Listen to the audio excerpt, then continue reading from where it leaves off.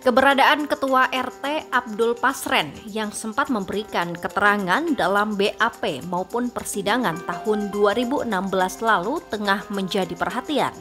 Sebab RT Abdul Pasren diduga memberikan keterangan palsu terkait kasus Vina Cirebon. Pasalnya, saat itu Pasren menyatakan para terpidana tidak berada di rumahnya saat malam kejadian.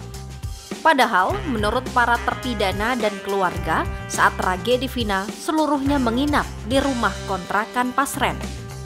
Keluarga terpidana pun meminta Polri menguji secara formil dan material untuk mengetahui kebenarannya.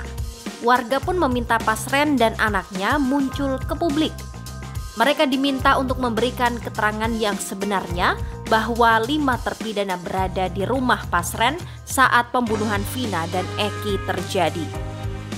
Warga juga memohon keadilan lantaran para terpidana disebut bukan pelaku pembunuhan seperti yang dituduhkan.